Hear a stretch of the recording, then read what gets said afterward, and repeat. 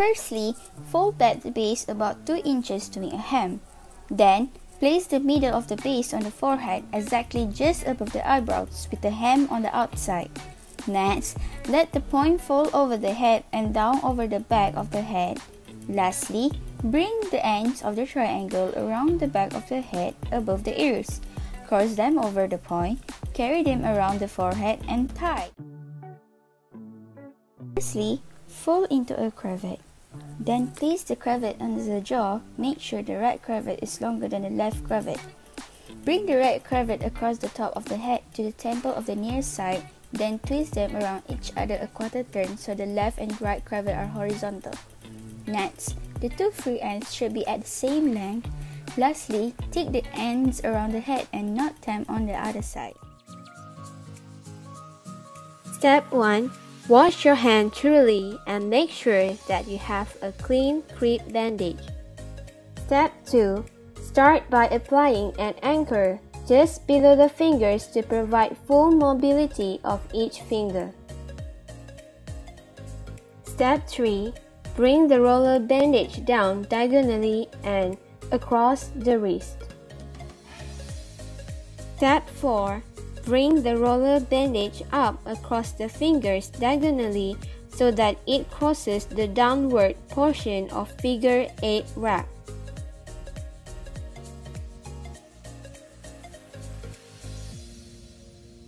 Step 5. Take the roll of bandage behind fingers and down diagonally across the thumb again.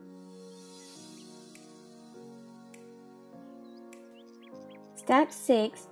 Repeat this figure 8 wrap upward and downward diagonally until the joint is sufficiently supported.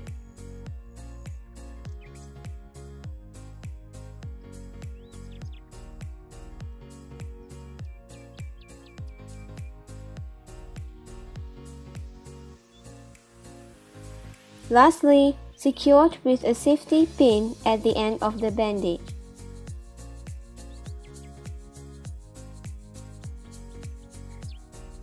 Reminder Check the circulation which you can press a fingernail for 5 seconds until it goes pale.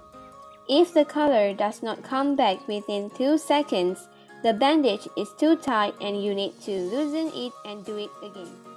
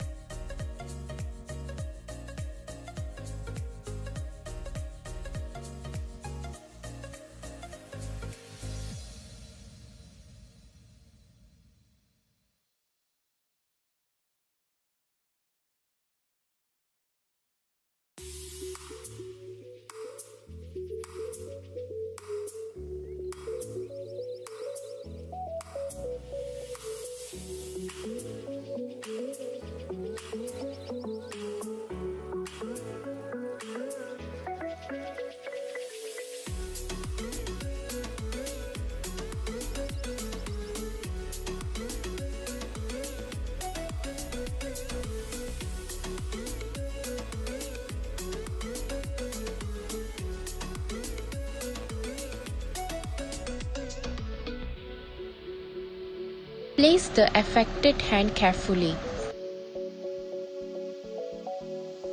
Start the bandaging in the middle of the patient's back approximately at the waist. Bring bandage up from the waist and over the affected shoulder. Continue down shoulder and upper arm. Then under the elbow and around the waist.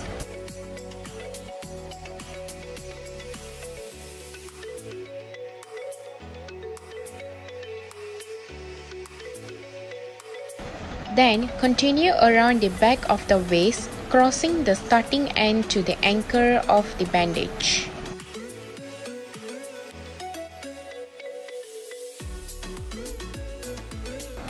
Circle the waist over bent elbow and bring obligation up across back. Finally, repeat the procedure.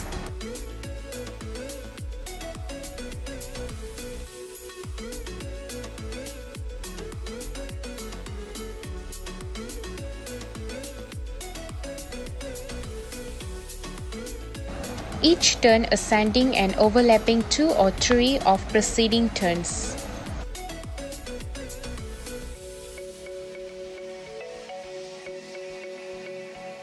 Terminate with circular turns over arms, forearm, chest and secure.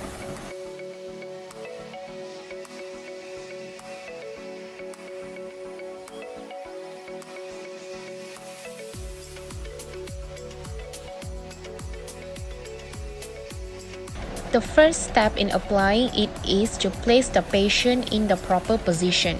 Anchor the end of the elastic wrap on the mid to proximal arm to the lateral side of the involved arm. Proceed to pull wrap around the upper arm in the medial direction to encircle the ankle. The wrap should cross directly over the AC joint. Continue to pull the wrap across the chest under the axilla of the non-involved side across the upper back to the anterior aspect of the shoulder. The wrap should again cross over the AC joint. Pull the under axilla of the injured shoulder and then encircle the upper arm.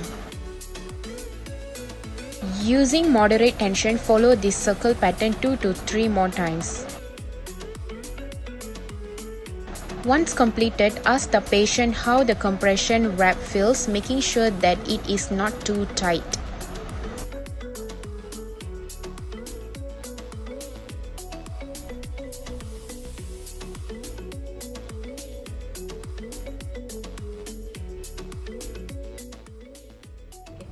Let's see how to make an arm sling. Basically, this is a triangle bandage. Okay, first of all, we ask the casualty to support their arm with their other hand. Okay. And then, we gently slide the triangular bandage. Uh, we gently slide, uh, slide one of the edge of the triangular bandage underneath their arm and bring it and bring it uh, behind the neck.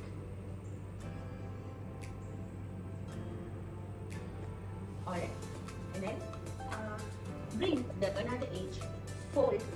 Make sure you cover the elbow, cover the arm, and bring it to behind the neck, uh, behind the neck, and uh, you can tie around two to three knots.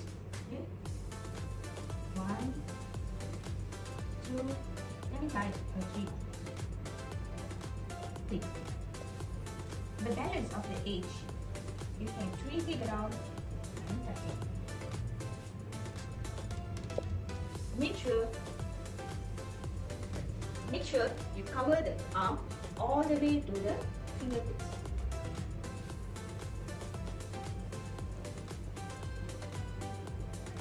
Make sure make sure you cover the arm all the way to fingertips.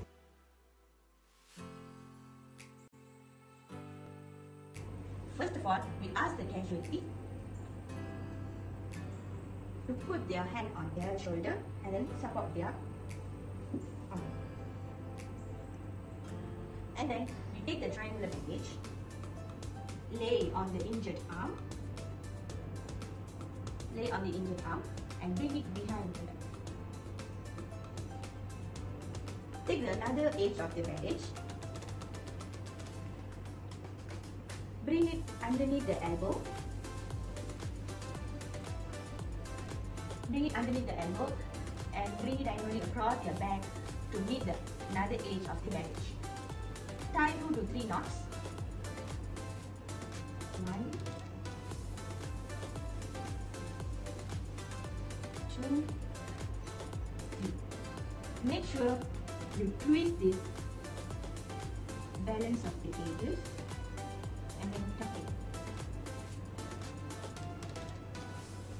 the balance of the uh, bandage, you can also twist or tuck in or you can also use a safety pin to pin it.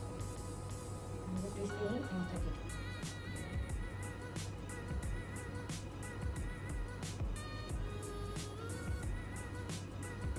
Alright, this is how to tie an elevation sling. Alright, do not forget to check the blood circulation every 10 minutes.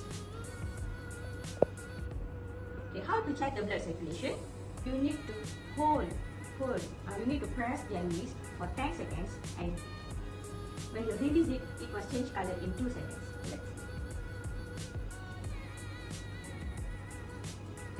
If it doesn't change color, it means the sling is too tight and you must loosen the tie or readjust it.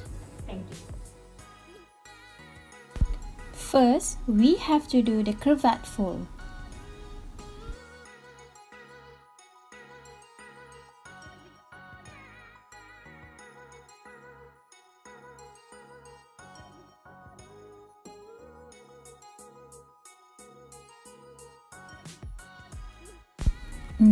We have to cross over under the knee. After that, we have to pull the ends to the opposite side. Secure the cravat fold with square knot.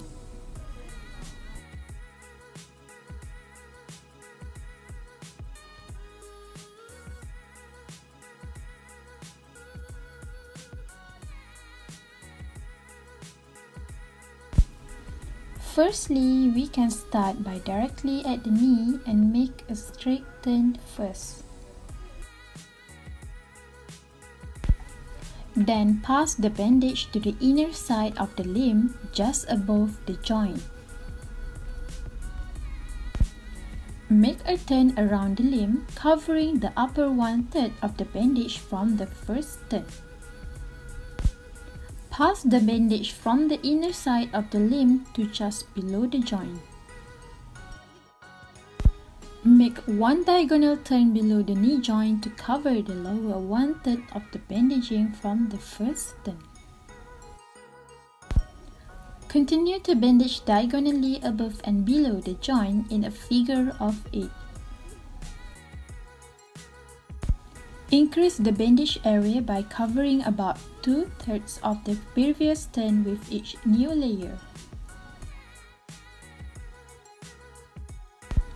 Make one more straight turn to finish and secure the end of the bandage at the outer side of type. If a knee fracture is suspected, do not bend the knee, straight bandage it in the position found.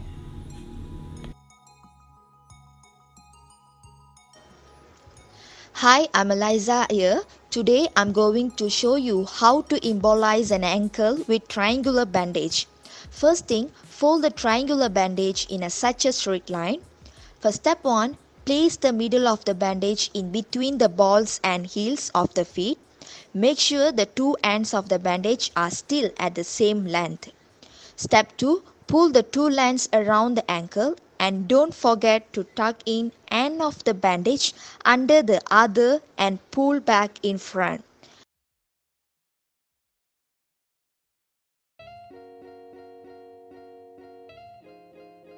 For step 3, pull the ends back in front and cross the end to form X. Step 4, Take one end of the bandage and tuck in under one of the sides in between the ankle and the bandage. Do this on the other side. Step 5. Perform a reef knot to end close the bandage preventing it to unravel and fall off. Left over right, right over left. And for the last step, tack in any loose ends to prevent it from getting caught on something and make sure it's look neat. Let's get started so you are first just going to open your elastic bandage. start wrapping here so as I go along we are also going to talk about applying about doing a figure 8 bandage. Make sure that you smooth out the edge smoothing to ensure that you know there are not crinkle and then you go over and it can cause more damage to the skin. Make sure that the bandage is smooth and nicely applied. There you go all the creases are out. We went around a couple of times and take going up and around ankle. Now as I go and continue on. So this is where figure 8 comes in to make sure all the creases are out from underneath because as the patient's walks could actually cause more damage to the bottom of the foot. And here you go, here is an ankle that is properly wrapped with an ace wrap. Make sure the patient still has feeling on the toes and if they don't have feelings, it's definitely too tight.